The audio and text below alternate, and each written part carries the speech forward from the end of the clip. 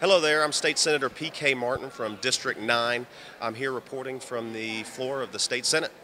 Today we heard from actor John Ratzenberger, who uh, played Cliff on Cheers, and also recently your kids may know him uh, from the voiceover work he's done for Pixar.